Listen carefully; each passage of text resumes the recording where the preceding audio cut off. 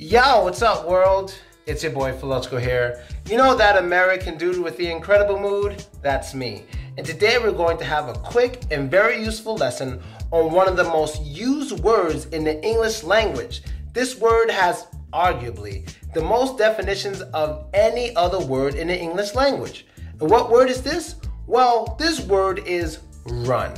R U N, run. Now, there is no way there is no way I'm going to stand here and give you guys all the definitions to this word. There's more than a hundred of them. I can't do it. But first, what I will do, which is something I did some years ago, I'm going to test your knowledge on this word run and see if you can rewrite this sentence without using the word run at all. So here's the sentence I was on the run, running a run that runs tomorrow.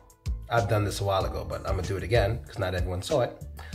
I was on the run, running a run that runs tomorrow. Now, when you look at this, you might think, oh, this sentence makes no sense. Nobody would say it like that. Well, it's true, sure. No one would say it like this. But this sentence actually makes perfect sense in more than one way. Can you re say this in a way without using the word run? Basically, re saying the same thing just without the word run, or running or runs. Can you do that? Do you even understand the numerous ways, or even just one way, this sentence could be understood? And if you have an English teacher, you should test them. You should show them this and see if they can get a proper answer. Okay, so now I'm going to quickly explain it. If you want to try to guess it yourself, first you should probably pause the video right now. But if not, I'm going to go for it. So let's start from the beginning. At the beginning, it says, I was on the run. What can it mean when you're on the run? Well, that itself has numerous meanings. But right now, I will give you two.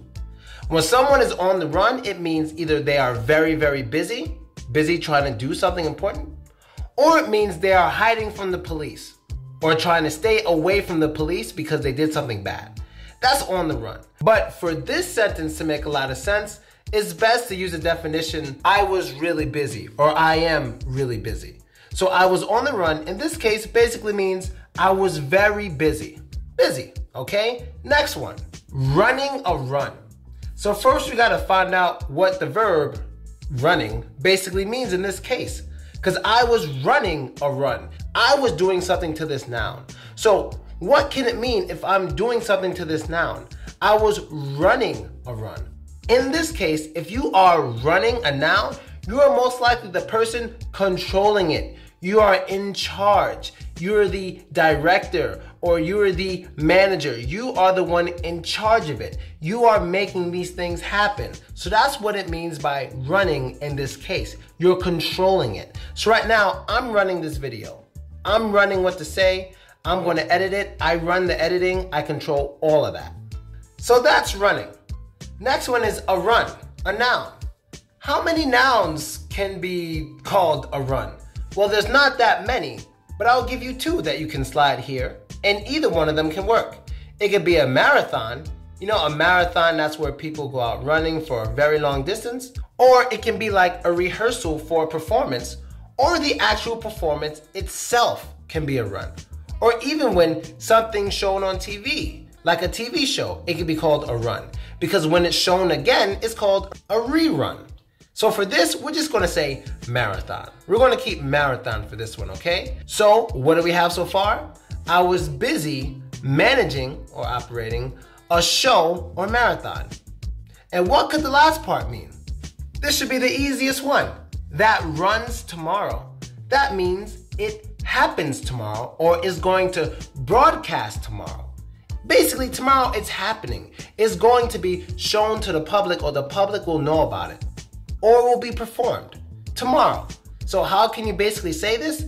Well, sorry, I was busy managing a marathon that's happening tomorrow. That's another way to say it. Or you can say, I was busy managing a rehearsal for a play that shows tomorrow. I was busy managing a rehearsal for a play that's performed tomorrow. Anything like that. So there's numerous ways to say I was on the run running a run that runs tomorrow. You just have to have a basic understanding of the word run, or actually not basic, a little complex.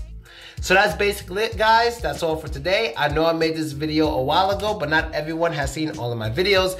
Definitely show this to your English teacher and see if they can figure this one out. If they can, that's really, really cool. And I'm out, people. My arm gets really tired making these selfie videos. You have no idea how, how tired my arm is. Like, Jesus Christ. Later. Five minutes ago. Edit it. I run the editing. I control all of that. Holy shit. Oh, my arm. God, they don't know how much my arm hurts whenever I'm filming this shit.